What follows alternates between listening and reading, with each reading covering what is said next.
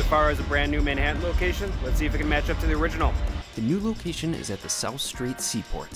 While it doesn't have the classic and old school feel of the original, it does have a decent amount of seating, both inside and outside, which is a huge plus.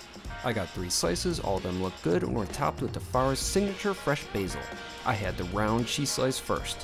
While the pizza I had at the original Brooklyn location was pale and anemic, this slice had far more color, perhaps too much, because when I got to the crust, it was hard and unappetizing and tasted like cardboard. The square slices were a mixed bag as well. The plain slice was so overdone, it was like eating petrified tree bark topped with sauce and cheese. My pepperoni slice was much better texturally, which allowed the quality ingredients Di Fara is known for to shine through.